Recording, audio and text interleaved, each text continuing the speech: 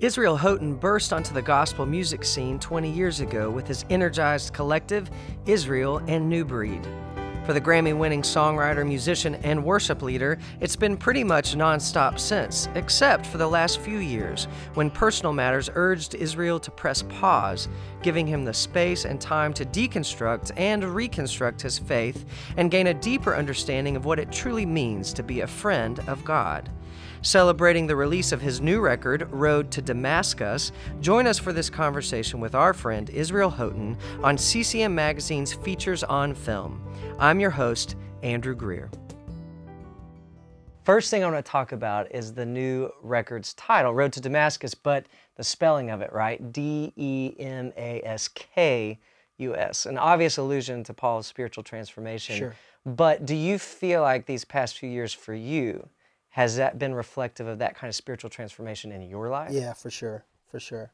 So, um, about three years ago, I was talking to my brother-in-law, and he said, "So, man, how you doing?" He kind of knew, obviously, like a lot of changes happened in my life the last several years.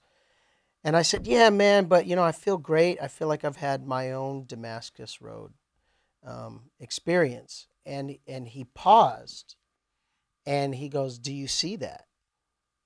And I said, Damascus, Damascus. Mhm. It was just, and it just, then just this whole unraveling of like what a, what a great sort of um, narrative to the life I've been, you know, living.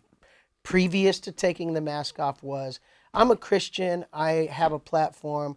I'm going to carry myself like a superhero Christian guy Mhm, mhm. as opposed to a Mhm. human being. Right. And at the time of like, hey, I'm a human, and having to like, you know, unveil some of that and and demask some Uh-huh. of that, I think the fear was always, um, yeah, th- your life is over. I mean, we've been in this business a long time. We've seen people go through divorces. We've Mhm. seen the public like forget them, Sure. burn their and records. crucify them, exactly. basically. Yeah. And so that's always the fear, which is why you keep the mask on as tight as you can and and post all the right stuff to Yeah. let everybody know everything's fine. And you you wear this mask for for what you feel is protection, Mhm. and it's actually suffocation. You're suffocating yourself and you're cutting off your oxygen and you're missing out from actually being able to help somebody else. Do you feel like you learned that? Did, was that like a learned behavior or a learned, you know, was that Of something? Of course, Yeah. I mean, it's fluent Christianese. It comes with it comes with learning fluent Christianese. Uh-huh. It comes with everything's fine, nothing to see here. God is good, and you just stay active and busy. And you know, a lot of people are none the wiser. And and in fact, a lot of people could have been none the wiser. I was the one that said I can't do this anymore, Mhm. and I know what's at stake. I'm I'm in. I'm certainly in the zone of losing everything, and in many ways, I did. Mhm. But what has come out of that, like uh, this record has been written autobiographically. So it's been looking back over the last eight years and writing from a place of freedom. And uh, it's been cathartic to say the least, but it's been really amazing to see how it's connected with people. Yeah, you, you say you kind of, again, willingly entered into this season, or at least into this um, time of transparency Mm-hmm. and confession. I've heard you call it a forced sabbatical of Mm-hmm. sorts. You know, what do you feel like? What was the point? Where was the fulcrum that forced you into that time of maybe respite and contemplation? Well, there was a there was a five year period of you know my ex and I living on separate you know separate houses, separate coasts, the whole bit, and um, and just trying to see maybe something good will come out of that, and if anything, if anything, what happened was a further further drifting away, and finally coming to the realization that like there's no way I'm going to look up ten years from now and still be doing this. Mm. So at some point, it's got to be, it's just got to be dealt with.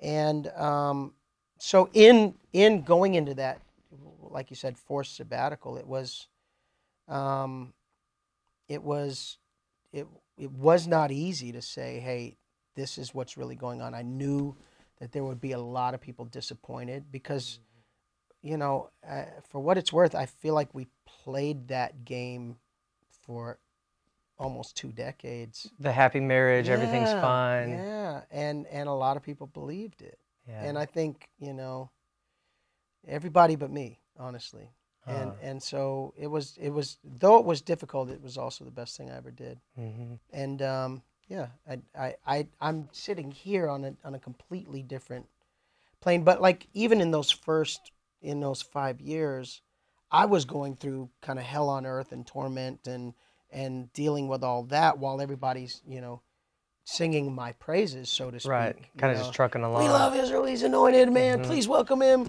He's our family, you know. and I'm like dying, Uh, and um, and so by the time all that news is unveiled, I'm healed. right. You're on. A, you're already. Yeah, but everybody else is like. I can't believe, you know. Yeah. And everybody loses your phone number and you, you know all the things you kind of expect to happen. But I, it it baffled people that I was still smiling and yeah. truly living my best life without this this trying to balance a bunch of lies and stuff. But, but because you'd already been through that kind of reflective road that led to this restoration and redemption in your own life, even as the news is breaking to everyone else of what first started you down that road, do you feel like that prepared you to um, enter that season of people's criticisms, of people's feedback? Yeah. With a little more generosity and grace for them and for their comments because you were in a different. Well, I would define generosity and grace as keep your mouth shut. Uh, That was my that was my contribution of generosity and grace not to say anything. Because I feel like had I really started defending and justifying and and pushing back on all the various stuff like the the the, the truth was bad enough. Then when people started piling on all this other stuff, everything in me wanted to yeah. you know fight all that, but then I would have been like throwing a lot of other people under the bus. Uh-huh. So I just kept my mouth shut. I don't know how I did that. That was the grace of God, frankly. And I and you know, nearly 3 years later I can look back and go, thank God I kept my mouth shut. Hmm. What kind of mask do you feel like this? This doesn't just have to be reflective of the past few years, but this could be a lifetime. Of course. What kind of mask do you feel like are your more most intuitive to throw up at any point in time? And and what mask have you felt like you really have let go of Yeah. over the course of your lifetime? Uh, I, I had to come to grips with the fact that um, it, as as gregarious and maybe out outgoing I can be, I was very very non-confrontational. I Hmm. didn't I didn't like in in my marriage. I would never really speak up and go, I don't think this is working, or I don't think I like this. If anything, it was the opposite, just nonsense of like, no, everything's great. So, you know, when that's happening and then both of you are perpetuating everything's great and perpetrating that on stage, like you are digging a hole that's uh, nearly impossible to get out of. And so that mask was was, you know, the fear of ever really having to deal with anything head on. Mhm. Um, and I, I, I feel like that's the one that I've been able to truly get rid of. Part of that is being married to Adrienne now is like she demands like transparency and and she her barometer for yeah that's not real is she's a street smart girl from the lower east side Manhattan.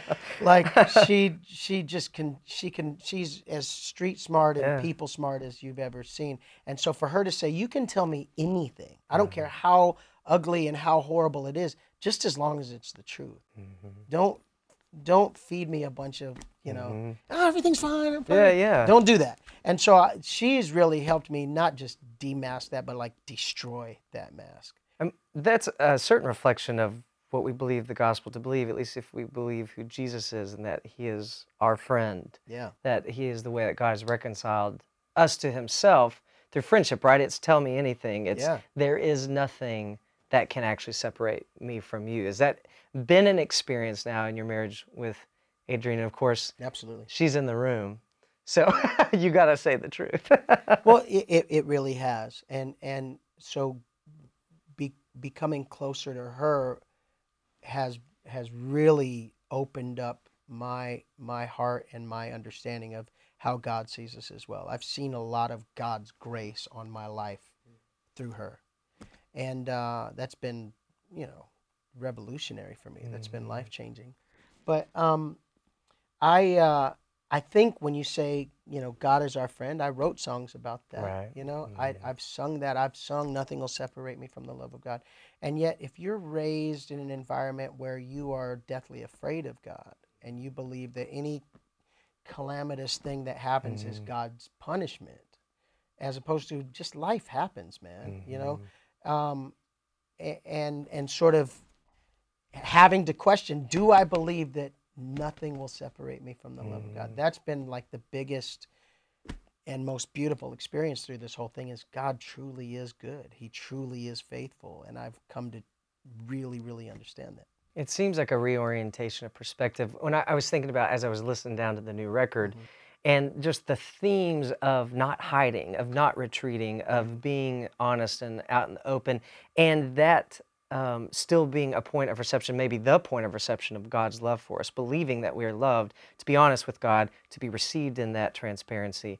Is, is to be opened up to what true love could be. But we always talk, or at least growing up in the church, I always received this message of you seek God, right? Have your quiet time, do this, do this, do this, do that. And I do believe that we put ourselves forth in the effort. But what I heard throughout this record and what I seem to be hearing even now is this idea that God is forget it, God is pursuing Hundred You. percent, man. Hundred percent. you.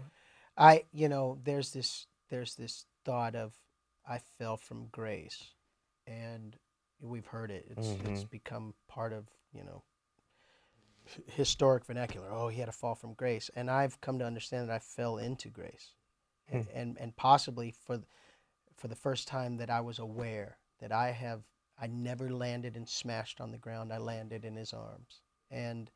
Um, and to be able to turn that around maybe lyrically you know musically and help somebody understand that that that god you know i i see liam neeson now you know i see Explain. i see taken i see god okay. going i have a certain set of skills man and i am going to use these skills to reach my child however and there's nothing that's going to stop me that's why reckless love kind of drove this record hmm. because uh, that imagery, that lyric, you know, that lyric of just like there's nothing you won't do to to capture my heart, to to chase me down and rescue me, mm-hmm. and that does that does change a, the narrative a bit of. God, I'm just seeking you. Teach me how to trust you. Mm-hmm. Oh, you know, mm-hmm. and that striving, which you know, I, I I'm with you. There's a good side to like devotion and like a mm-hmm. sense of like I, I want this to be routine in the best possible mm-hmm. way. But that idea because that the converse of that idea was like and if i miss a day oh man Right, i'm right. cut off Yeah, you he's know? gone. he's gone. Yeah, and yeah. i'm gonna have to search high and low to find him again. Right, meanwhile y- like we we've we believed this misnomer that if i fall that has suddenly negated god's ability to be omnipresent uh-huh. anymore Uh-huh. and that's just not true. It's We don't have that kind of power. My my failure and my you know finiteness cannot overpower the power of the cross. It just can't, and it just never will. Hmm. And so resting in that, man, it's it's like I said earlier, man, it's revolutionary for me. You've been a part of in leadership in your songs, and you've participated in some of the biggest churches, largest churches and congregations in the world. And I think about this, I'm hearing this kind of deconstruction and reconstruction of faith, or at least your perspectives on faith. How does church now play into that? The same, you know, I'll call it the organization Yeah. instead of maybe what an Acts church is, but the organization of church in our world today. How that played into these original perspectives and these ideas that, hey, you know, you don't pursue God hard enough or you don't do the right mm-hmm. things, God's going to lead you. Now, to believe something different, to have a shift in that, how does church play into your life, do you feel like? Well, for the first time in a long time, we got to just attend a church. Hmm. That was fantastic. Mm-hmm. Like, not VIP church either. Like, we just show up, we park, and we come to church. right. And to just sit on the whatever row is available and to just sense God's presence, man. And and it not be about what's the next song, how are we going to transition into this next thing? Because I think you could do the work of the Lord and not even really know the Lord of the work Mm-hmm. for a long time. And I had to look up and realize, man, like I'm not sure I've I've had a real like Jesus encounter Mm-hmm.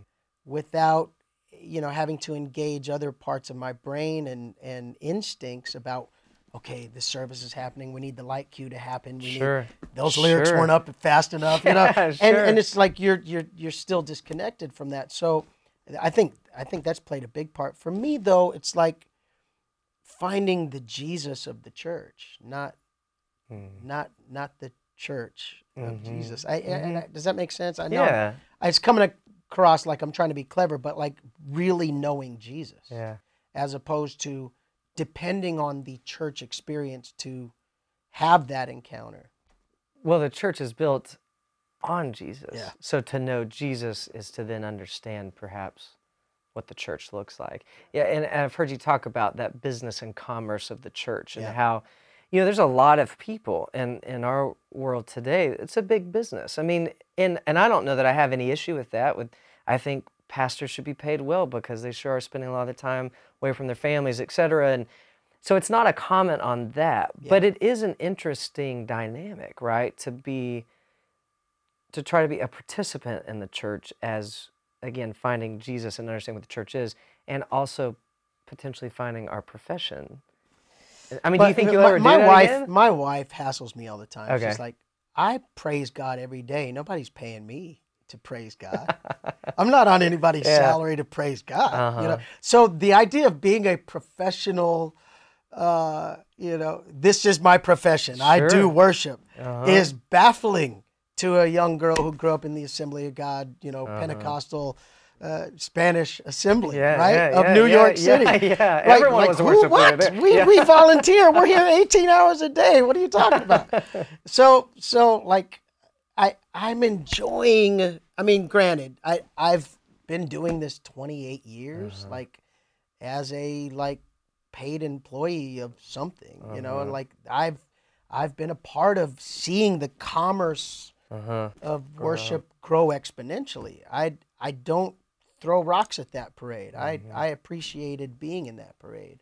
And I appreciate that, you know, I, I agree with you. Like if you're if you're sacrificing being pulled away for the sake of the gospel, you know, i i I have no problem with somebody doing that well and making a good And having living doing it. compensation, right? Yeah. Yeah. However, if that's my identity and if that is my chase and if that is my fuel, like how much is this going to net me? Then I feel like I'm already missing the point. Yeah. And that has been a fine uh, fight for me, just like f- figuring it out. And and I'm I, I feel like I'm always going to err on the side of generosity in the sense of like I, it's not it's not going to be my drive. And if I eh, receive anything in excess, I'm going to make sure that I'm found giving that to you know where it needs to go. But um, I- the best way I can say it is I love the local church. I love what she stands for, and I'm always going to be a part of the local church. I love the worship um, component of church, but at the same time, like I'm loving just being a Christian, not a professional one. So if you now had to, if someone came up to you and said, "What is your identity, Israel? What is your identity?" Last I checked, I'm a friend of God, and I'm and I'm Adrienne's husband, and I've got some great kids who love me, and I've got a few friends that I feel like, if they had to, would step in front of a bus for me, and I would do the same for them.